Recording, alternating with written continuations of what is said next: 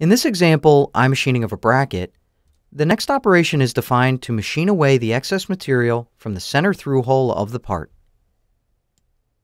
This excess material was used for clamping from the first setup.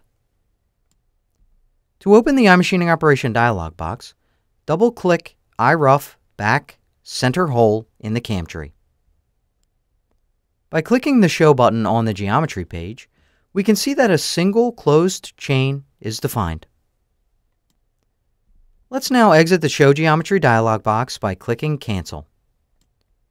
Switching to the Tool page, you'll see that we are again using the half-inch diameter end mill. On the Levels page, we can see that the milling levels are defined, as well as a negative 50 thou delta depth. On the Technology Wizard page, the default cutting conditions are used based on a machining level aggressiveness of 6. On the Technology page, the default allowance can be used for the wall since the desired wall was actually finished during the topside machining. Let's click Simulate to take a look at the iMachining toolpath at work.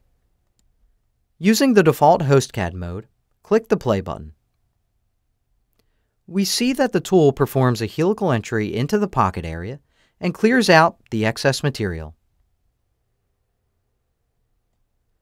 Let's also take a look at the simulation using Solid Verify.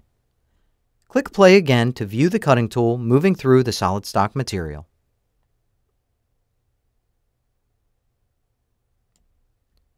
Well, that just about does it for the cutting of excess material from the through hole.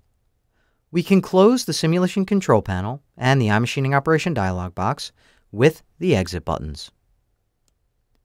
And next, we'll take a look at the machining operation defined to perform the bottom face machining.